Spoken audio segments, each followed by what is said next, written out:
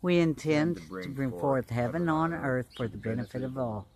We intend to release all from bondage of time and money, safe passage into the Garden of Eden, and forgiveness for our filthy souls.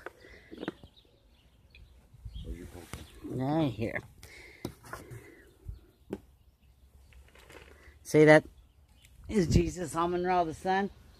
Came out again today to give you another chance to do a blood over intent.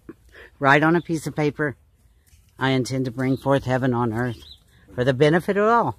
Put a drop of your blood on it. Yes.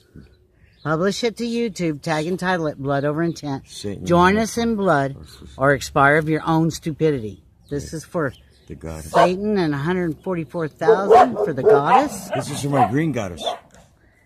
This is for my green goddess. This is for the 144,000. This is for Satan. See? Every day you have another chance to thank the goddess.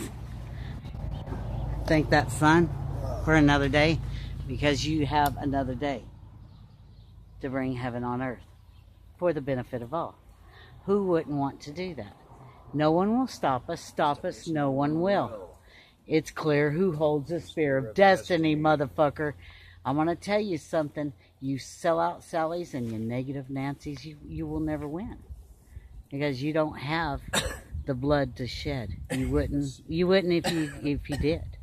Because all you can see is yourself. You don't see we're all connected. Everything is as one. And we're all suffering or we're all not. One or the other. See? It's just a level of suffering, isn't it? And you know what? The elitists are going to fall. It always happens. They had their fun.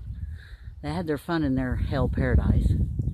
And now they may lap it up.